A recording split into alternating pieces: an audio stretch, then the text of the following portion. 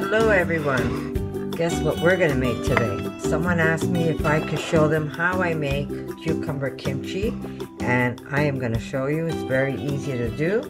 These are called Lebanese cucumbers. They're just very small cucumbers. They're not like regular cucumbers. They have less seeds in it.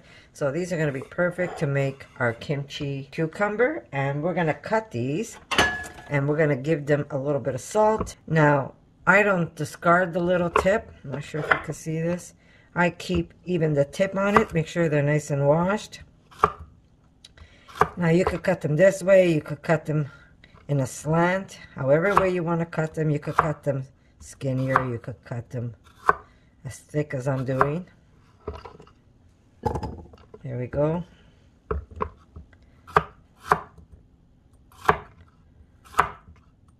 Very simple. It really takes like a few minutes to make this. Now you could eat this fresh or you can ferment it. That's really up to you. I know a lot of people just eat it fresh. I prefer it gets fermented. But when there's something good in the house, it never lasts long enough. Okay, we're going to start off just adding some salt to my cucumbers as I do it. I use about maybe a tablespoon of salt. The magic tablespoon. And what this is going to do is it's going to start pulling water out of the cucumber.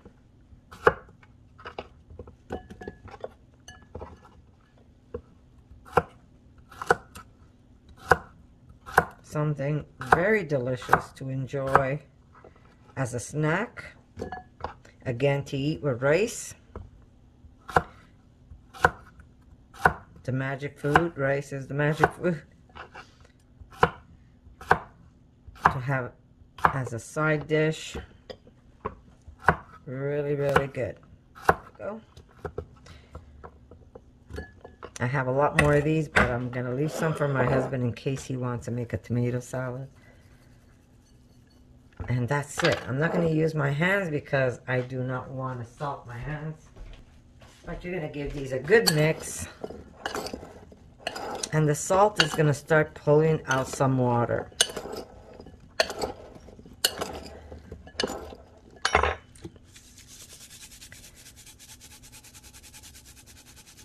I'd say about a tablespoon of salt.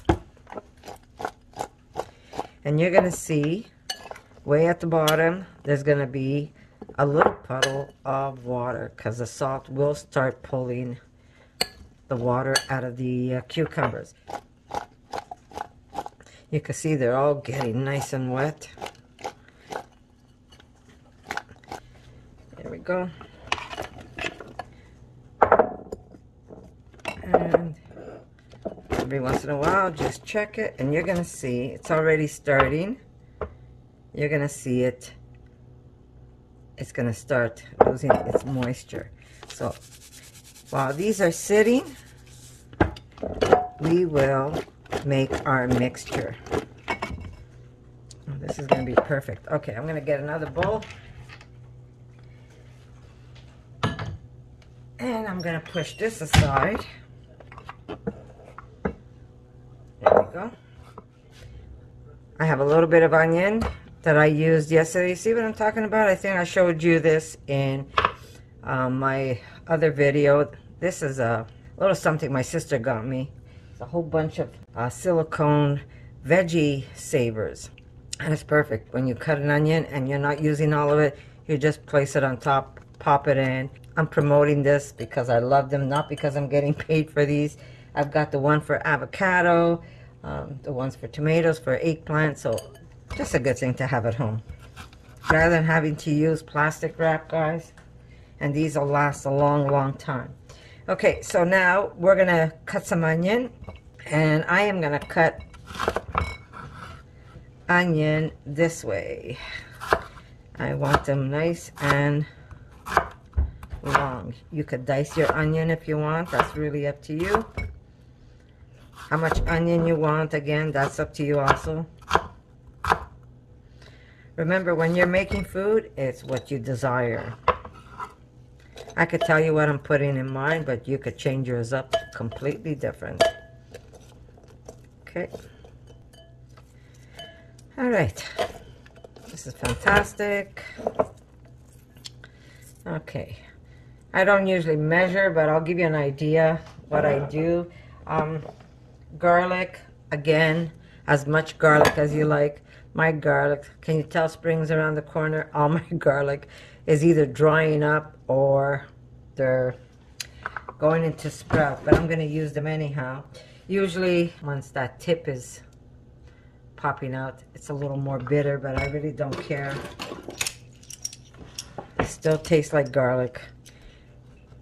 So I'm just to squish a little bit of garlic. Remember, how much garlic is really up to you.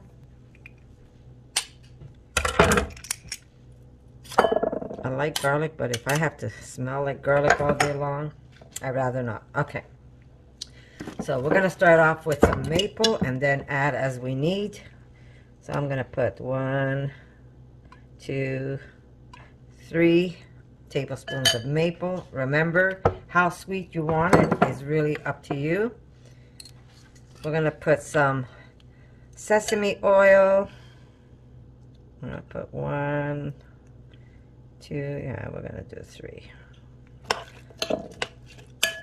Three sesame oil. If I need more, I will add more later. We're to use red pepper powder. This is what I usually use when I make kimchi. And we're to use about, let me measure this for you. I mean, I really don't need to measure this because it really is up to you. You could always add at the end if you want more. Look at that. Was I not right? About a tablespoon, yeah. I'm using about a tablespoon of that. We're going to use some, about a tablespoon of sesame seeds. We're going Asian, of course.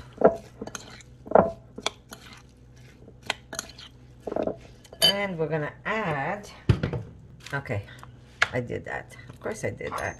Okay, I buy this, it's chili powder. I buy this at my Asian market. And since it's already out, I had this in another bag, so it's not the end of the world. I do have that in another bag. But somehow it's coming off the sides. Okay. Now, if I need more chili, I will use it. I do want to add some flakes. Taste it. I shouldn't be putting anything in my mouth because I am doing a fast. Not a no food fast, but we're doing an intermittent fast. Just two meals for Connie. Okay, so a little bit of salt, just a little bit because I do want to add some soy sauce to this. I want to add some vinegar. It's in a vinegar jar, but I make this vinegar. Okay, we're going to put one, two for now. And if I want more, I will add it. Oh, yes, some ginger. Okay, I'm going to take some of that skin off.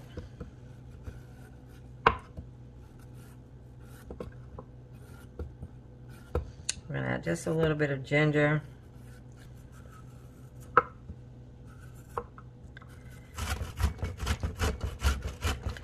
I like to taste my ginger under my teeth, so I will grate it in chunkier bits. Just cut that off.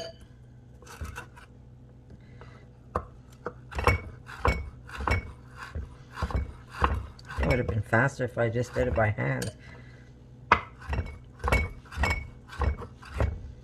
Okay. A little bit of fresh ginger.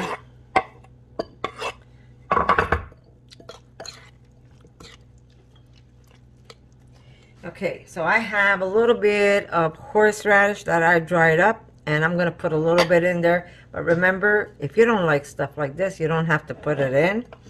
But I will grate some.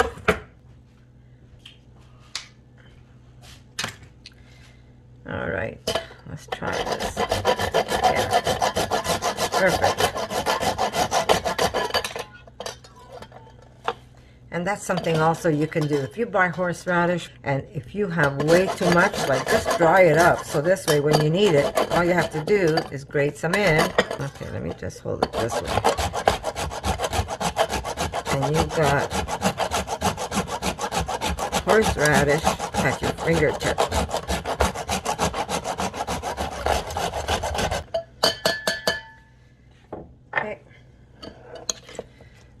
It up. I'm using tamari actually, not soy. But you can use soy if you want. We're gonna do one, two. Here we go.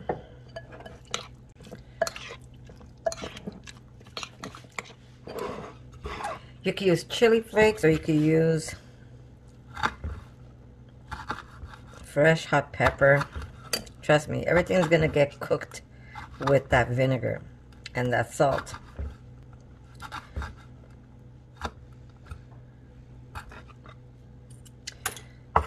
Mm.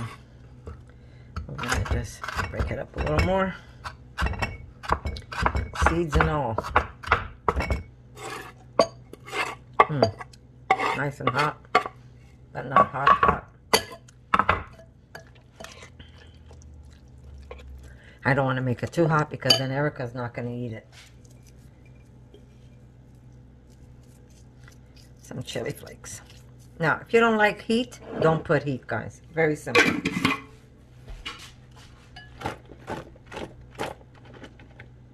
This is perfect. Okay, I'm not going to add extra salt in here. It could use a little extra salt, but I'm not going to rinse my cucumbers. So I am going to use whatever salt that's on the cucumbers not rinse it out and I'm going to mix everything in here and then we're going to jar this. But that's how easy it is. Now if you want to uh, if you want to add other ingredients go ahead do it. But this is how if you don't want to put onions you want to put green onions you can do that too. That's going to make it look even prettier. Um, you can if you want to make a lot of jars you could either do just cucumbers. You could even add a little bit of cabbage and the cabbage is going to wilt nice. Like I said, you can add whatever ingredients you want. You can stretch your cucumber if you don't have enough. Maybe some nice red peppers for contrasting color. You can add uh, maybe cubes of cabbage, cabbage leaves. That's going to be nice also. And if you don't want to do cubes, maybe you could do ribbons.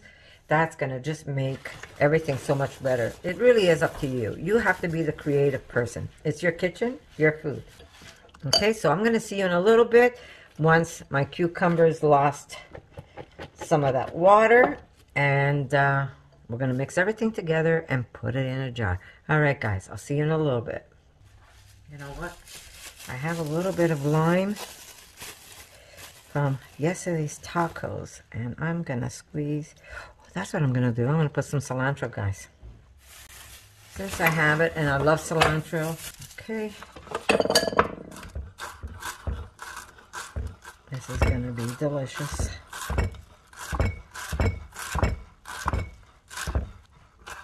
Like I said, you can eat this fresh. But if you put it in the fridge, like if you make it in the morning, it's better because it picks up all these great flavors. I wouldn't make it fresh like right when you're having dinner. I would make it fresh, like either make it in the morning and then serve it at dinner or make it today and serve it tomorrow. That's called fresh cucumber kimchi. But if you want to age this, you can. Just let it sit on your counter and just let it let it age. All right, so I'll see you in a little bit, guys. You know what? Before I go, I wanted to show you. Remember I told you that I um, I fermented. Let me zoom out. Why am I so close to your face? I am so sorry, guys. All right. Remember what I told you? I fermented Asian string beans. I'm going to show you which ones these are. I'm sure some of you have already seen this or have eaten them. And these are the lids that I also put a link if you're interested. Uh, I'll tell you what I do use those for. Give me a Okay. I don't use these silicone ones for wet food, okay? Let me just wash my hands. I don't use this for wet food. I use this if I'm storing dry food, mostly for dry food. And this goes right in here. I have these that I could reuse, reuse. I also use this, my hands are clean guys, in my jar. You see, normally it would fit on top, but what I do is I push it in and it sits right underneath the mouth of my jar and it keeps all my vegetables when I'm fermenting down at the bottom and nothing sits on top where it's going to cause bacteria. When I need to take something, I just push it over to the side with something clean and I always keep it there, always floating on top. And that's going to always keep your fermented foods safe. Otherwise, if your vegetables come up and touch the surface, there's a chance of you contaminating the rest of it. This is what I use it for. There's these glass things that you can buy that sits right into the mouth of the jar and keeps your vegetables down, but I didn't have any of those. And I remembered I had these and I says, you know what, that's going to work just as good because rather than letting it sit on top of the jar, I push it in and it's going to hold everything down. But these are the Asian vegetables that are now fermented and sitting in my fridge. Look how long they are. Look how long they are. I put them in whole. See how long they are? Look how long the string bean is. we love it. I either put it, if I'm making a toast or a sandwich, I'll take one and put it just the way you see it in my sandwich. Or you can take them, toss them, cut them up maybe a bit. Toss them with a little bit of uh, balsamic vinegar. You could crush some garlic. Um, taste it for salt before you add salt. Don't forget, these are all salted. So this is my string bean fermented vegetables. And I make them I keep them whole. I don't cut them up. It just looks prettier and it stacks great in my jar. And this one, remember, it's just salt, garlic, and ginger. I use a regular lid on top and then it goes into the refrigerator once it is fermented. Okay, here's my cucumber and it's losing all kinds of water as you can see and I'm going to wait a little longer because if I don't remove some of this water, I'm going to have a huge broth, and we don't want that. We have enough liquids now with that mixture I made. I don't need extra water. I don't want to dilute the flavors. I want to keep those flavors attached to the cucumber. So I'm going to wait a little longer, and then I'm going to come back and show you when I toss this up. And hopefully by then it'll be noon, and I can have a bite of this deliciousness. So I'll see you in a bit, guys. Here's my mixture. And we're going to take these and put them right in there. Like I said, I am not going to wash them. My mixture wasn't that salty, so leaving the salt on the cucumber is okay for me. Now, cucumbers is one of the vegetables that need the least amount of time really to ferment. So, leaving them out on the counter for one day. Mm, my God, this is going to be very good. So, leaving them on a counter for one day is going to do the trick for these. Okay, let me try one because... Mmm. Mmm. The crunch. My God. They're so good. This is a must to make, guys. So I am going to start with my bigger jar. And I'm going to put all the cucumbers in first. They should fit in one jar. So these, like I said, if you want to ferment them, you will leave these on the counter Oh my God, they're so good. See, that's a problem. When you make good stuff like this, it's hard to stop. Okay, so I'm going to push them down. So if you want to ferment them, you will leave them on the counter for one day. And then, of course, you will refrigerate them, guys. And if you want to eat them fresh, I say put them in the fridge and serve them either for dinner like without fermenting you could serve them for uh, for dinner But do make them in the morning. This way they have all the flavor that has to be picked up. Trying to get these in. So I could get all the cucumbers in one jar. And now I'm going to put the liquid in there. And whatever didn't fit in the jar is going to go in my belly.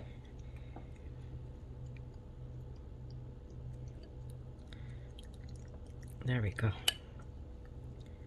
And that's how you make fermented cucumbers, guys. There we go. Now, one day is more than enough for cucumbers. If you're doing like a kimchi, then I would say three days plus. If you're doing like my um, my cauliflower, I did that for five days. String beans, I also did for five days. Uh, my beets, I did for seven days, guys. But cu uh, cucumbers, one day is more than enough. So I'm gonna leave the whatever's left over and pop that in my mouth and maybe sneak one more in there. There we go.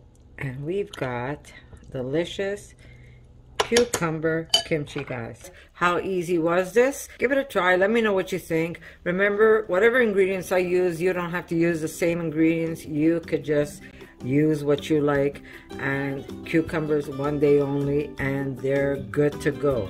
Remember once they're fermented put them in the fridge and enjoy your beautiful kimchi cucumbers. So i'm gonna say i love you guys and i'm gonna see you in my next video.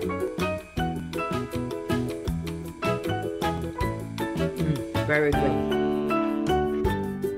for more videos like this, make sure to subscribe to Connie's Rawsome Kitchen, give it a thumbs up, and share it with your friends.